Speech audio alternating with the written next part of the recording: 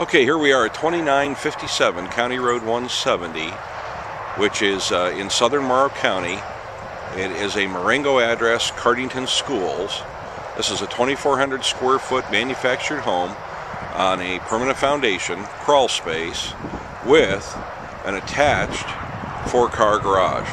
There's two two car doors at this end of the building, and then down on the southern end, uh, there's a man door and there's another garage door uh, to get cars or uh, uh, farm equipment in and out.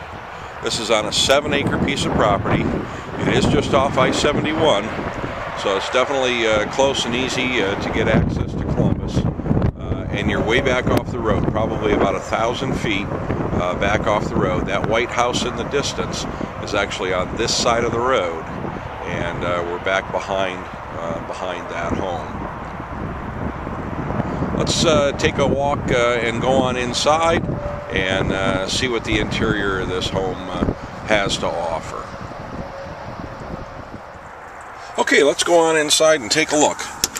At 2957 County Road 170, it's a uh, Marengo address but Cardington Schools. This is a 24 square, 2400 square foot uh, manufactured home that offers a lot of living space and it's in very good condition.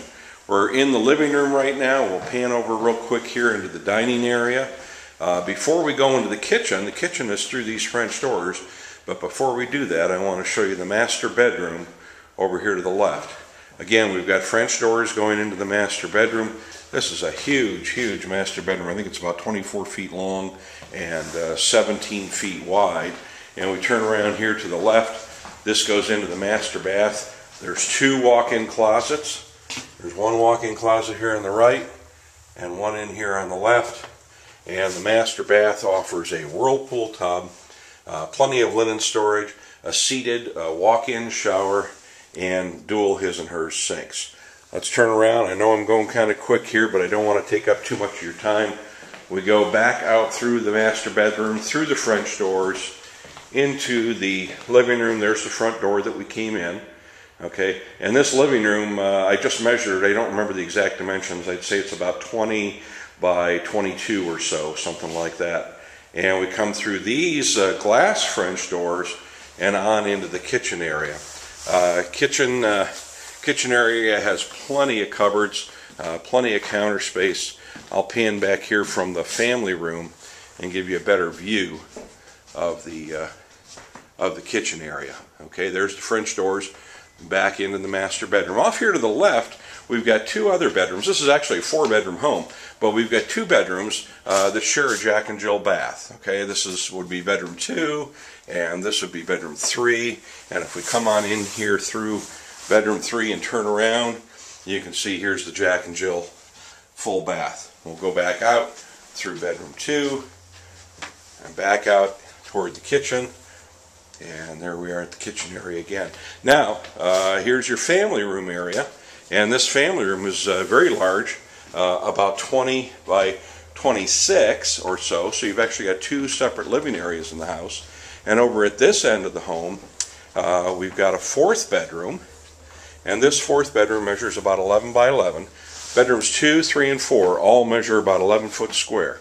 Uh, there's a good sized walk in closet for bedroom 4 and then here's a bath that's shared by bedroom four. It's a full bath. Okay, it has a regular uh, a regular bathtub, and it's a full bath, and it's shared by bedroom four and on out into the hallway. And in the hall here, we have a, a deep freeze standing up here, but this is the laundry area and the mudroom area, and then we go back out to the garage. Okay, so if you were to enter from the garage, if you were to drive in and enter from the garage, you would enter into the mudroom area, and from the mudroom area, kick off your boots, hang up your coats, then on into the family room kitchen area. This is where most people would congregate. And then you go on over through those French doors, again to the formal living room, and from that living room to the master bedroom, master bath. So four bedrooms, three of them are 11 by 11. The master bedroom measures about 13 by 23 or 24. The master bedroom has its own private bath. Two of the bedrooms share a Jack and Jill bath, and the fourth bedroom shares a bath with a mudroom. All on seven acres uh, on the east side of County Road 170, just south of County Road 25. If you'd like to set up a showing for this home, give me a call at 419 947 4004.